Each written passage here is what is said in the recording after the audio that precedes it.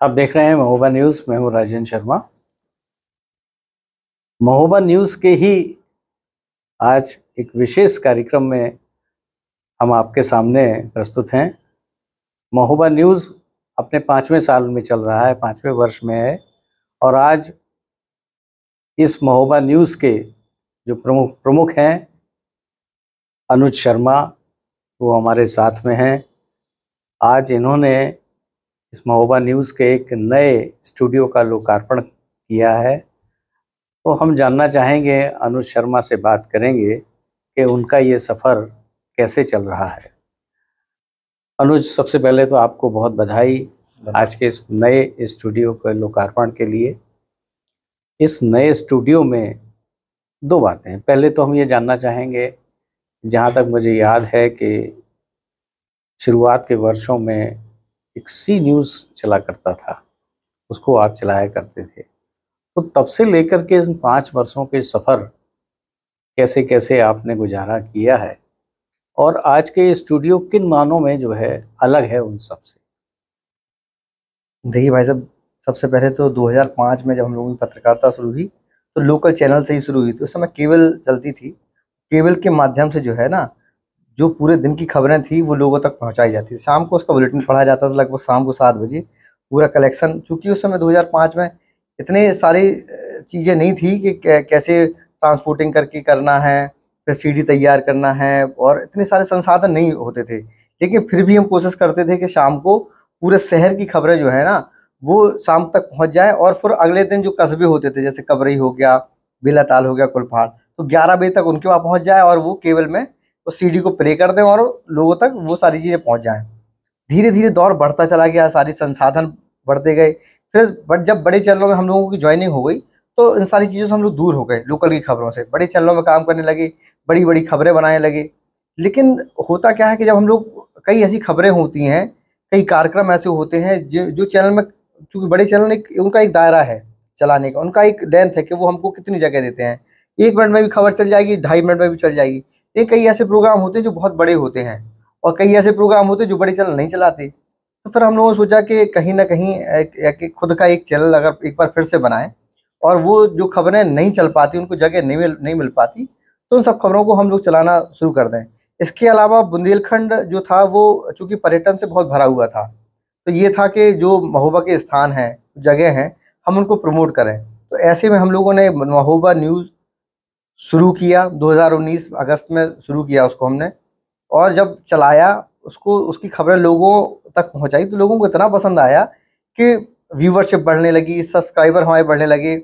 और बहुत, ज़्यादा टाइम लगा, एक साल में ही हम जो है यूट्यूब पार्टनर हो गए और हमको एडसेंस पैसा देना शुरू कर दिया। तो धीरे धीरे हमें यूट्यूब से पैसा मिलने लगा और उसी को, पैसे को हमने लगाना शुरू कर दिया। धीरे धीरे चैनल आज जो है, ऊंचाइयों पहुँच गया। लगभग सारे प्लेटफॉर्म पर पचास पचास हज़ार हम लोगों के सब्सक्राइबर हो गए हैं और वो ऐसे हमारे फॉलोवर हैं। अगर उस खबर को हम डालते हैं, लगभग पचास लाख, पचहत्तर लाख, तीस लाख सब्सक्राइबर की मात्रा कम है, लेकिन व्यूवरशिप बहुत है हमारे पास। लोग सब्सक्राइब नहीं किए हैं, लेकिन हमारे चैनल को देखते बहुत है। तो हमारी व्यूवरशिप सारे प्लेटफॉर्म पे लाखों में जा रही है अभी। हमने देखा है कि आपके कुछ प्रोग्राम्स जो हैं, जिन्हें कि दस दस लाख लोगों ने देखे हैं। ऐसे कौन कौन कौन सी ऐसी न्यूज़ कुछ हैं आपके बिल्कुल देखिए अभी हमने एक किला था हमारे यहाँ सालट का किला था। कभी हम एक खबर बना रहे तो देखा था बहुत खूबसूरत था। सूपा गाँव के अंदर है और बहुत सारे लोगों को पता नहीं था। जब हमने उसको देखा तो वाकई बहुत खूबसूरत था वो।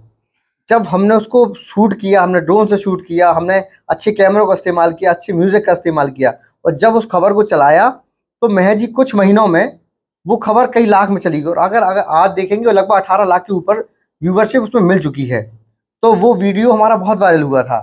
क्योंकि पर्यटन क्षेत्र का वीडियो था, वो कई सारे डॉक्टर्स ने देखा, कई लोगों ने हमसे संपर्क किया, कैसी कहाँ कौन सी जगह है, हम कैसे जाएँ उसको घूमने के लिए, क्योंकि हमने उसको पूरा एक्सप्लोर किया था। उसके बाद शासन का ध्यान भी उसमें गया था, लोगों ने कब्जा कर लिया था पूरे उस जगह पे। डीएम थे सत्येंद्र कुमार, उन्होंने उस कब्जे को पूरा खाली करवा के, उसको क्लीन करा के और काफ़ी उसमें हद तक प्रयास किया लेकिन फिर अब अब की स्थिति में थोड़ा सा वो नहीं लोग जा पा रहे वहाँ। अभाव है वहाँ पे सफ़ाई और उन सारी कुछ चीज़ों को लेके। लेकिन हमारा प्रयास है कि हम पर्यटन क्षेत्र में लगातार काम कर रहे हैं। आपके इस चैनल पे जो कार्यक्रम चलते हैं उसको देख करके क्या किसी खास शख्सियत ने आपसे संपर्क किया? देखिए अगर शख्सियत की बात करें तो हमें लगता है कि सबसे अच्छा अनुभव तो महोबा न्यूज़ का ही होगा। एकता कपूर ने एक फ़िल्म बना दी महोबा न्यूज़ के ऊपर।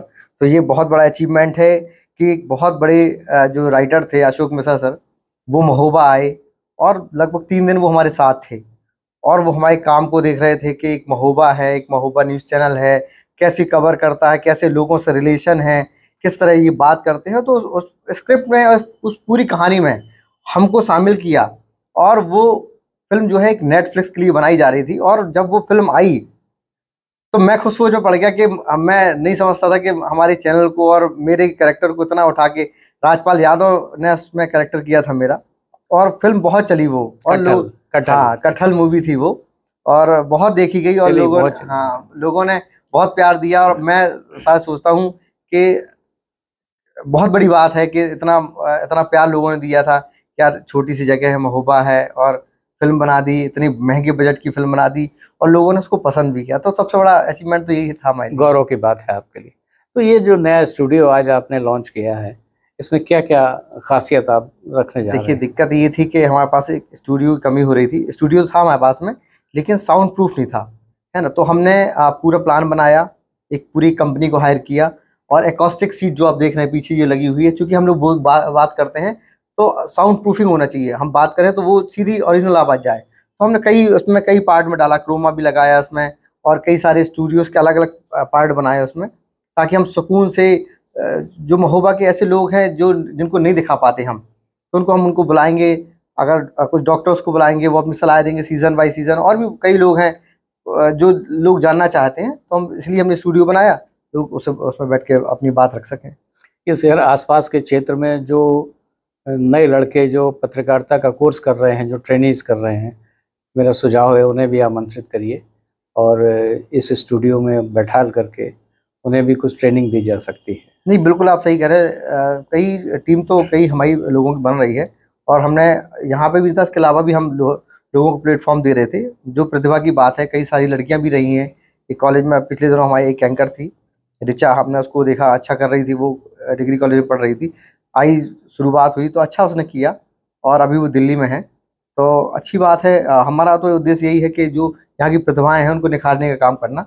हम तो अपने चैनल के माध्यम से कहेंगे, अगर किसी को भी अगर लगता है कि पत्रकार बनने की इच्छा है, कुछ है, वो कुछ करना चाहता तो बिल्कुल हमारी टीम से संपर्क करे। हमसे आकर मिले, हमारी स्टूडियो आकर मिले हमसे। बिल्कुल वो जैसा करना चाहता है, हम उसकी पूरी मदद करेंगे और वो जो भी सीखना चाहता हो, हम उसके लिए तत्पर हैं। टूरिज़्म के क्षेत्र में क्या कुछ और कवर करने जा रहे हैं? लगातार स्टोरियों पे काम चल रहा है और लगातार आगे भी चलता रहेगा। कोई भी काम होता है, कार, कार्यक्रम होता है कवर करते हैं। पिछले दिन अभी यूपी सरकार की एक बड़ा कार्यक्रम जो है, वो होने की तैयारी है। एक बड़ा फेस्टिवल कराने की तैयारी चल रही तो पूरी एक टीम हाले डेवल्सन की एक टीम जो है, उस पर काम कर रही है। अभी दो दिन पहले ही वो आई थी वो, और हम लोगों ने विज़िट किया, कार्यक्रम की जगह ढूंढ रहे थे। और वो ये फेस्टिवल ऐसा है हर साल होने की तैयारी में है। और जो प्रदेश सरकार उसमें बहुत बड़ा एक इन्वेस्टमेंट करना चाह रही है। धार्मिक तो लगातार यूपी सरकार के चल ही रहे हैं। इसके साथ साथ जो है चूँकि इको टूरिज़्म की बात हो रही है, उसको बढ़ावा देने के लिए बुंदेलखंड को एक बहुत कई सारी जगहों से जोड़ा जा रहा है। तो जल्दी ही और नई सारी चीज़ें होंगी और लोगों को उसमें अच्छा लगेगा, देखने को मिलेगा। शासन की नज़र आपके इस चैनल पर भी है, जिसका एक सुखद समाचार हमें प्राप्त हुआ है। कि स्वच्छ भारत मिशन में आपको भी ब्रांड बनाया गया है। तो स्वच्छ भारत मिशन में जनपद के लिए क्या करने जा रहे हैं? देखिए, उद्देश्य साफ़ है। अगर ब्रांड नेम सब आया तो हमारा तो काम कहीं, अगर कहीं गंदगी होगी, कुछ चीज़ होंगी तो बताएँगे हम। जो पहले करते रहे, वो अभी भी करते रहेंगे। अभी थोड़ी देर पहले ही है, जो है, अभी हमने एक खबर चलाई थी, उसमें एक हैंडपम्प कुछ लोगों ने कब्जा कर लिया था। चलाया, खूब ब्रांड एम्बेसडर हम विभाग के, लेकिन जो कमियाँ हैं, वो तो हम दिखाते ही रहेंगे। दिखाई, उसके बाद विभाग पहुँचा और शायद अभी काम कर रहा होगा और कहीं ना कहीं वो जो है लोगों को पेयजल बहाल करने की जो स्थिति है वो कर रहे होंगे। तो हम जो काम है वो अपना करते रहेंगे और उनको सुझाव भी देते रहेंगे। तो विकसित भारत के लिए स्वच्छ भारत मिशन की अच्छी शुरुआत हुई है और आपके माध्यम से इसको और भी प्रोत्साहन मिलेगा। तो बहुत बधाई, बहुत शुभकामनाएँ आपको आज के इस नए स्टूडियो के लोकार्पण के लिए। नमस्कार।